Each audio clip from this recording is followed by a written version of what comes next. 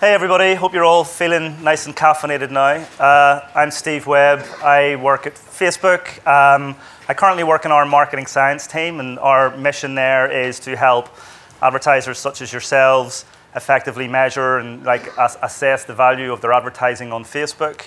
Uh, and I'm also I'm moving on to our audience network product, which is where we work with publishers. So I felt with this presentation, I was going to try and do both things. I want to try and speak to you, and hopefully you can take away stuff as marketers that are going to be useful to you, but then also there will hopefully be some stuff that's useful to you in the publishing industry as well. I've been at Facebook for about three years now. Um, before that, I, I, did my time at Google. It Seems like people do their time at Google now, so I was there for about 10 years. Um, before that, I worked for CNET Networks, various other uh, online publishers, and started my career in media with IPC magazines quite a long time ago when they used to have lots of magazines.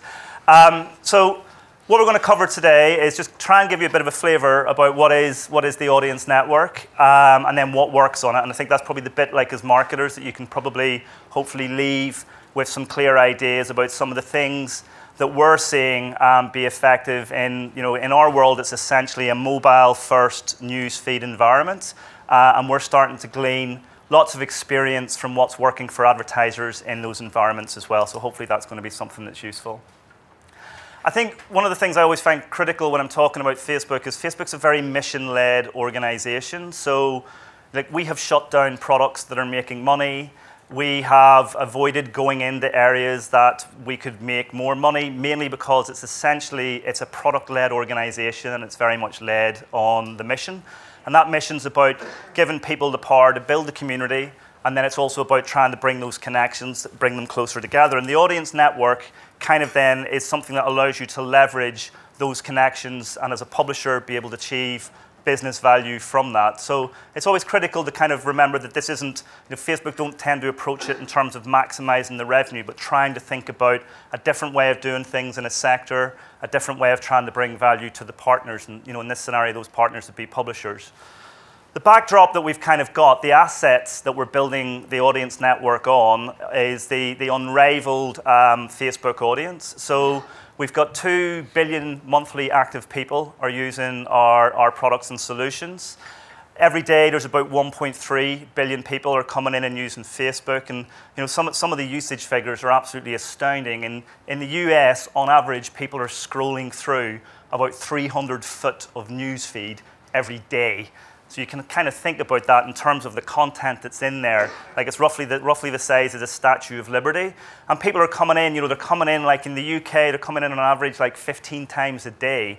and they're spending like, you know, 40 minutes in, in the news feed. And so we're able to both you know, think about like what's the right thing to kind of interact with them, and then what do we learn from that in terms of being able to pass that on to, to advertisers as well.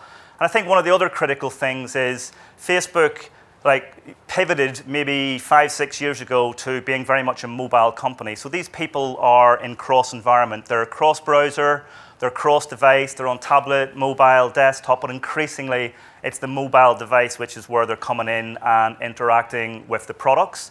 And we, we look at this as like the Facebook audience, and then we're able to build products that sit on top of sit on top of this and also use and leverage the insights that come out of this audience to be able to work with advertisers and partners to like get you know get the right message in in that mobile environment.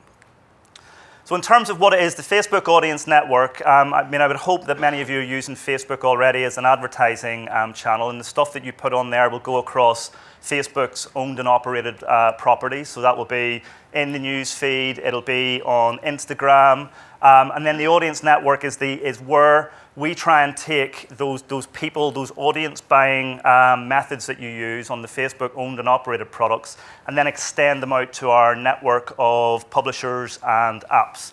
So essentially, it's about really trying to take what works on Facebook um, and then bring that out to, like, to, you know, to other environments, um, which are primarily uh, mobile at the moment, but then we're also starting, you know, adding more and more desktop um, inventory into this. Try and make it as seamless as possible so you can ex effectively extend any campaign that you've got running on Facebook. You can extend it with a single click, and then you can start to get more reach and more frequency or whatever your business objective might be. You can start to get that on, on, on other areas which are beyond Facebook. And what we find when we're doing that in terms of the signals that we see is that advertisers are valuing three things. And we're very much trying to move the industry away from what tend to be the metrics that have grown up with digital, which are around clicks and CPMs, and you've kind of got proxies that made sense when digital was evolving, but increasingly don't make sense because people are spending most of their time on digital. We're very much working with advertisers to focus uh, on, on, on, you know, on clear business objectives such as brand lift, um, and you know, and su such as lifetime values. And what we found is advertisers are like valuing three main things. First of all, it's attention, so just making sure that their ad gets in front of the right audience, but then also working with them to make sure that their creative actually stops that thumb as they're scrolling through that 300 foot. It's about the interaction. So, what's the right type of interaction that you might want to have? Um, there's obviously different objectives that you may have. So, it's trying to make sure that the interaction that you have with, with the audience is, is, is, uh, is a good one. And then there's the long-term engagement. So it's really about how does an advertiser work with Facebook to make sure that the relationship with the audience and with the consumer It's something that goes on beyond just like a kind of single hit of, you know, they clicked, they did this. We want to try and work with advertisers to think about longer term um, objectives. And many of these are true then when we're speaking to publishers as well about putting, putting our ads and putting our, our ad engine onto their site as well. So in terms of like, you know, how we do this, um, it's really about trying to engage people. So most of the stuff that we do in the audience network is native. So Facebook has got one of the biggest ad servers that's serving ads into the news feed. And what we try and do is work with the advertisers that are on there to get them to put their assets in. And then we use the, like the artificial intelligence and also our experience about what's working in the feed to get the right creative message in front of the, in front of the consumer as they're going through that news feed. So we're trying to bring that experience into the mobile app and mobile web environment as well. So we find that native advertising is, is much more effective than just taking desktop formats, which sometimes are just TV formats that have been repurposed for digital, we find that it's much more effective to do native advertising in app than it is just to simply bring, bring um, formats from, from other, um, other areas in we find that then leads when, you, when you're kind of thinking about the environment in which your ad is being uh, presented, then we see that user engagement starts to go up as well. And again, from an advertiser perspective, this is great because people are interacting with the assets that you've spent all of that time and effort putting in place. But also from a publisher perspective, it means that there's a better advertising experience in your app and a better advertising experience on, on your website. And we find that then that's helping publishers um, increase their user retention because pe people are coming back because they're finding the ads are much more, much more attuned to what they want to do. That's then leading the revenue that's coming for publishers. Um, so this is maybe the other side of the house in terms of um, you know, the organizations you work for. But you know, we're paying out a huge amount of money that's going, going out uh, to these app developers and going out to these, these publishers as well. The main reason for that is that they're tapping into the demand that we've got at Facebook. So we've got 5 million advertisers who are using the platform, and it's everybody from the world's largest advertisers right down to people who are promoting events or you know, might just be selling, selling something from their bedroom. But they're, you know, with 5 million advertisers that are using that platform, and that's something that you know, continues to grow. And you know, if you're, if you're in the audience network, you're tapping into that demand. So as those advertisers start to take advantage of other channels, other inventory sources that are coming there, then it starts to like give you access to this is a huge, um, huge area to tap into with the marketing side of the house on in terms of like you know what we see as being the solutions that are really helping people engage with users um, there's three main areas i want to focus on. First one's video solutions um, which i'll talk a little bit about like how, how we render those ads. I want to talk a little bit about the display solutions and then an area where we're continually trying to develop new solutions or what we call on facebook. So we're trying to work with the publishing industry to find the right way for your content to be put into the news feed so that people engage with it and also helps you, helps you monetize that content as well. So I talked a little bit about um, you know some of the different formats that we've got, and these are just some examples of how we're trying to work with publishers to really put like innovative uh, formats that like you know that, that, just sit intuitively into these like news feed and these um, app environments. And really, what we're thinking about is like the native advertising that you can see on the left. You know, it's clearly clearly distinguished as a as an advert, but it has the look and feel of the feed that it's in.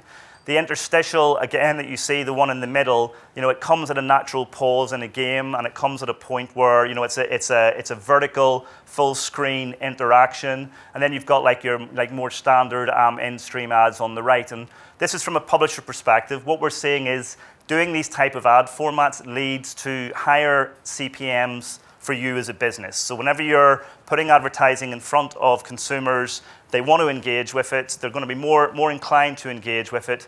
And because you're tapping into that demand that we've got with those 5 million um, advertisers, then it's leading to higher eCPMs for your properties. So it starts to become like a really, um, a really good revenue stream. Same thing from a display perspective. Going native basically increases the interactions that you get from ads. So hopefully you can look at this from two perspectives. One is, as an advertiser, thinking about how you can increase those interaction rates that you might have in, in the um, activity that you're putting out in these different environments like going native leads to like a, like a higher increase in the engagement, but also as a publisher, in terms of monetizing your inventory, it leads to a higher CPM. So those higher engagement rates really then lead to people engaging with the ads more and then starts to lead to more revenue that comes through to, to, to you as a business. I talked about how we're innovating um, on, on Facebook. So it's incredibly important for us. You know, Facebook it tends to be either the first or the second kind of traffic referral um, for, for most publishers. And people increasingly are starting to share and consume content on, on Facebook. So we're working really to try and pioneer in this space and find a way for content creators to be able to utilize that audience that want to stay in the news feed, want to watch video, want to engage, find a way for, for, for them to do so. So that was like, a, like a, an ad break that you just saw there. So you've got a content creator who's doing Facebook Live, clearly flagged up in terms of when the ad is coming, uh, and then they get this like brilliant sort of like mobile first uh, format, which then renders as, as the user is watching that content. And these are areas where we're trying to innovate and trying to bring new solutions across, across the different um, interaction points. Um, same thing with instant articles. Instant articles is really just trying to find a way that your content renders as quickly as possible when somebody's in the news feed, because we find speed matters. People who are used, like people who are using mobiles want stuff quick and they like um, they'll move on incredibly quickly if it, if it doesn't render. So we're trying to work with what we call instant articles, which again gives publishers a way to get their content into the feed and get those interaction rates high but then critically also gets them a way to, to monetize that as well. So they're able to put uh, native type advertising, very um, attuned advertising into the instant articles, and we're seeing traffic lift and revenues go up for, for publishers where we're working with this as well. So that's just like a really quick um, flyby in terms of what the audience network is. Hopefully there's stuff there that you can take away both as an advertiser, but also from a like from an industry perspective, from a publisher perspective. Um, you know, we're very much focused on this because we believe what we've seen with our business. You know, you've got 85% plus of the interaction with Facebook, consumption of Facebook now on mobile devices. We're really trying to you know take that experience, take those lessons and start to apply it out to, to the publisher ecosystem and also find you know, environments where users can consume in a, in a much more effective way with the advertising. Um, so we're really about trying to create this ecosystem uh, with the publishers, but also trying to innovate and find ways for advertisers to engage with consumers on mobile devices, which I think is something that we all know we need to do. Um, and it's, you know, it's becoming increasingly clear that just simply taking formats from, from, from one uh, channel and plopping them onto this one doesn't work. The way we do that is getting feedback from, um, you know, from people in the industry, getting feedback from you, and that's something that we're always open um, to. So hopefully this has been useful from both sides of those houses. I'm more than happy to take any questions if we've got any time, but that was everything from me.